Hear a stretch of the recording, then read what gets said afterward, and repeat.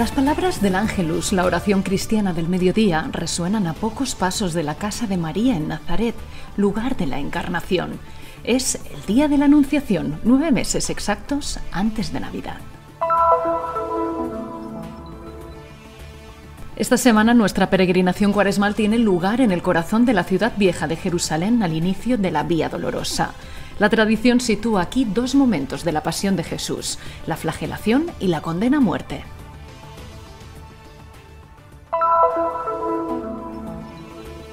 El Hospital francés San Vicente de Paul de Nazaret ha inaugurado una nueva área de maternidad dedicada a Sor Marie Paul de las Hijas de la Caridad, que ha trabajado en esta institución sanitaria durante más de 40 años.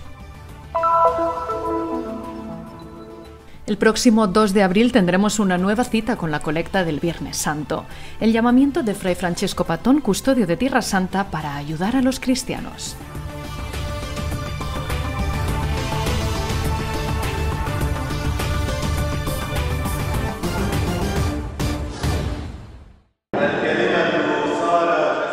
Las palabras del Ángelus, la oración cristiana del mediodía, resuenan a pocos pasos de la casa de María en Nazaret, lugar de la Encarnación, en la que hace más de dos mil años una joven supo que se convertiría en la madre del Salvador.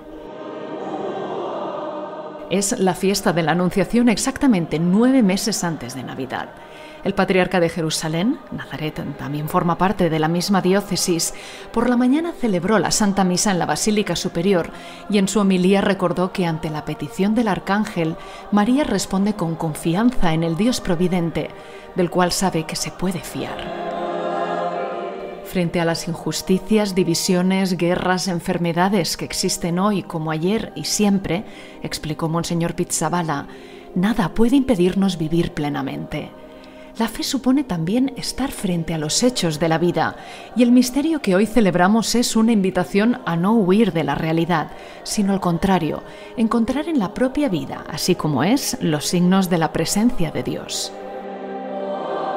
Si nos fijamos solo en el mal que hay en las enfermedades, las pandemias, no acabaremos nunca. Debemos contemplar también la belleza que está. Está. Esto no va bien, es la realidad. Pero a pesar de todo está la presencia de Dios. Nos encontramos a Dios. De aquí hay que partir. En la tarde anterior, Monseñor Pizzabala hizo su primera entrada solemne en la Iglesia de la Anunciación tras el nombramiento como Patriarca Latino de Jerusalén. La comunidad de Nazaret, la parroquia... La comunidad de Nazaret, la parroquia latina de Nazaret, es la más grande de la diócesis. No solo es importante por el misterio que custodia, que es el misterio de la encarnación, sino que es rica también desde el punto de vista pastoral, de iniciativas, de grupos y de movimientos.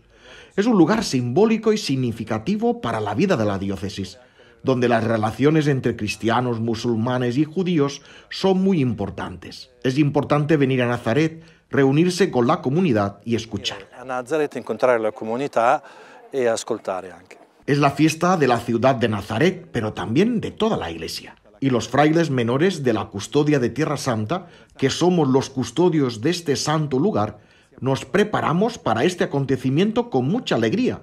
Los pontífices que han pasado por Nazaret han dejado signos de su visita, como la rosa de oro que llevaba en algunos momentos de la celebración que fue donada por San Juan Pablo II.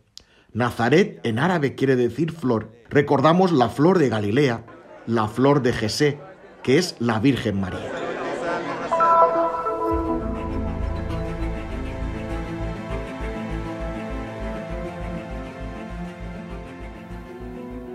Esta semana nuestra peregrinación cuaresmal tiene lugar en el corazón de la ciudad vieja de Jerusalén, al inicio de la Vía Dolorosa. La tradición sitúa aquí dos momentos de la pasión de Jesús, la flagelación y la condena a muerte. Los dos santuarios que recuerdan estos acontecimientos están anexos al convento franciscano, sede del Studium Biblicum Franciscanum. Ecco, chi attraversa la Via Dolorosa non può non incontrarsi quien atraviesa la Vía Dolorosa no puede dejar de ver, lo quiera o no, un complejo bastante evidente frente a la escuela pública, una escuela primaria. Justo enfrente al norte se encuentra el complejo de la flagelación. La pequeña iglesia de la flagelación es de origen medieval, como toda la tradición que sitúa aquí los momentos centrales de la pasión de Jesús.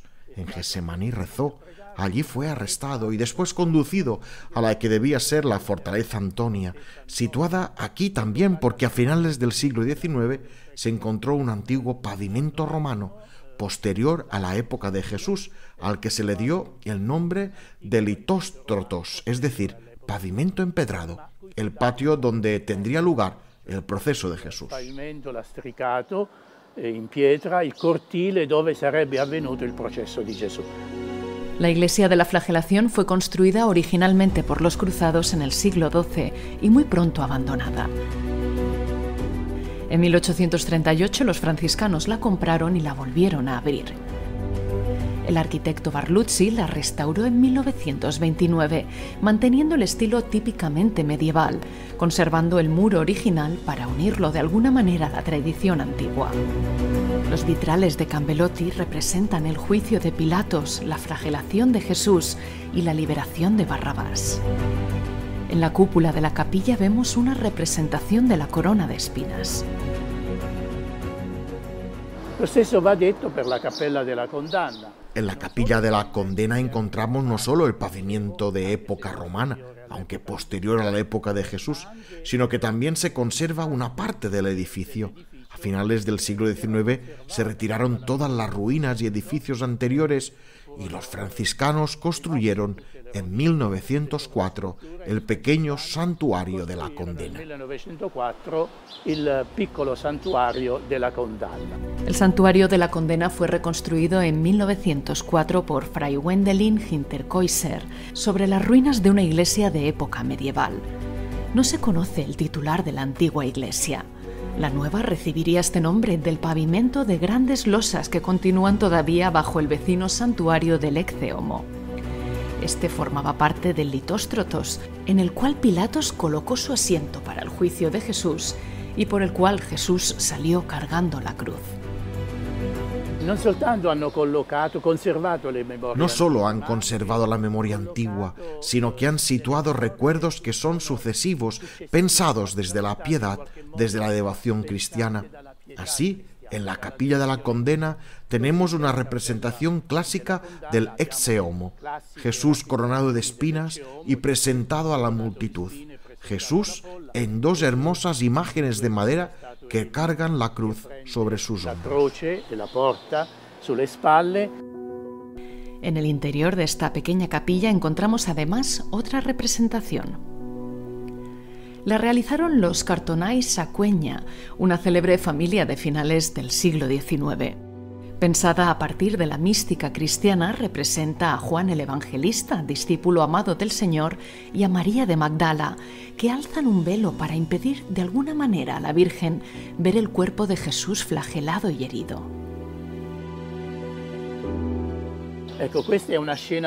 Es una escena concebida por la tradición espiritual cristiana la encontramos en un famoso oficio de la Virgen atribuido a San Buenaventura. Tradicionalmente a San Buenaventura. Son dos memorias vinculadas a la pasión de Jesús muy apreciadas por los peregrinos que salen de aquí para iniciar el Vía Crucis. Justo enfrente de la entrada está el Museo Multimedia, que nos introduce en la Vía Dolorosa, el Vía Crucis, y el museo que contiene las colecciones arqueológicas del Studium Biblicum Franciscanum. El Studium Biblicum Franciscanum es una institución científica para la investigación y la enseñanza académica de la Sagrada Escritura y la arqueología de los países bíblicos. Fue concebida por la Custodia de Tierra Santa en 1901 y funciona de manera ininterrumpida desde 1924. Un importante grupo de arqueólogos a los que dedicaremos un programa especial ha organizado en diferentes periodos numerosas campañas de excavaciones y ha sacado a la luz importantes santuarios de Tierra Santa. En la propuesta científica del Studium Biblicum Franciscanum, ciencia y fe se unen. Eh, per così dire, mostrare che la fede non ha paura della scienza. Para mostrar que la fe no teme a la ciencia, Son órdenes de pensamiento y de reflexión diferentes, pero no enfrentadas. Aquel que ha dado al hombre la inteligencia es el que lo ofrece creer. No somos compartimentos estancos. Razón y fe no son incompatibles, sino que son dos modos de mirar a la realidad, la que nos supera a todos, la realidad divina, pero también la humana. Es la fe la que nos lleva a hacer memoria de la pasión, muerte y resurrección de Jesús en los lugares donde sucedieron. En la cuarta semana de Cuaresma, la peregrinación de la custodia se dirigió a la iglesia de la flagelación, donde Fray Alessandro Conillo, secretario del Studium Biblicum Franciscanum, presidió la misa, mientras que la homilía corrió a cargo del padre Lucas Popco, dominico que ha acompañado las peregrinaciones cuaresmales. La semana siguiente, la quinta de Cuaresma, centramos nuestra atención solo unos metros más allá. Esta vez la celebración presidida por Fray Gregor Geiger, concelebrada por Fray Enrique Bermejo, superior del convento, junto a los frailes de la custodia y a los sacerdotes y religiosos locales, con la homilía de Fray Frederick Mans, se desarrolló en el interior de la capilla de la condena. Dos episodios muy cercanos entre ellos en la narración de la pasión de Jesús, a pocos días del inicio de la Semana Santa.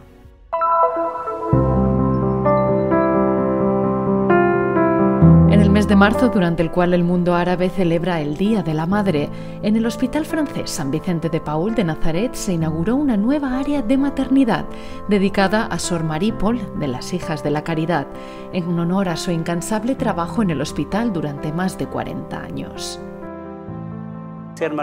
Sor Marie Paul es muy querida entre las madres de la zona de Nazaret que han dado a luz en el hospital francés San Vicente de Paul. Sor Marie es una religiosa francesa que ha dedicado toda su vida al servicio de nuestra sociedad. De aquí la idea de ponerle el nombre de Marie Paul. Al departamento es un gesto de reconocimiento por su humildad. El padre Jalil Marún bendijo la nueva sala de maternidad con la presencia del juez emérito de la Corte Suprema Salim Yubran y del personal del hospital. Inauguramos hoy una nueva maternidad que promueve la vida y en la que el amor de Dios es visible en la continuidad del proceso de creación y en el amor de San Vicente de Paul por la defensa y la salvaguardia de la vida.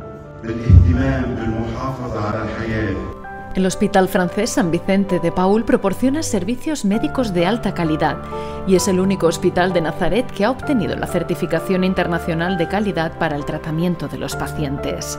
La apertura de la nueva maternidad forma parte del continuo progreso médico y de servicios que asegura a las madres una maravillosa experiencia en el nacimiento de nuevas vidas. Tengo un baño para mí y una habitación individual. Estoy muy contenta desde que llegué. Han traído lazos para la bebé. La habitación y la manta son de color rosa. La sensación es indescriptible. Me siento además como si estuviera en un hotel, no en un hospital. Ayer ni siquiera vine porque me fío de las enfermeras. Le dije a mi hija, no vendré esta vez porque las enfermeras están a tu servicio mejor que tu madre y el personal es maravilloso. Lo que nos distingue es que hay ocho habitaciones individuales en las que la madre puede estar con el bebé desde su nacimiento todo el tiempo necesario.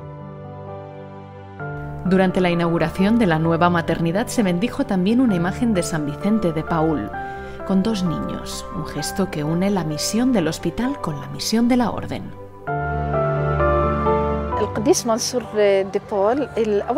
San Vicente de Paul es el fundador de nuestra orden.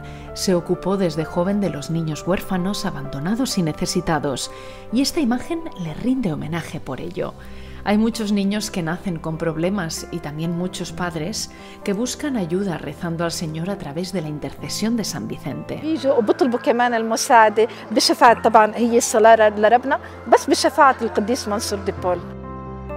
La nueva maternidad del Hospital San Vicente de Paul, dedicada a Sor Marie Paul, atiende todas las necesidades de la madre y de su hijo, para acoger el primer llanto del hombre y con ello cuidar de las almas inocentes de bebés y niños, según el espíritu de San Vicente de Paul.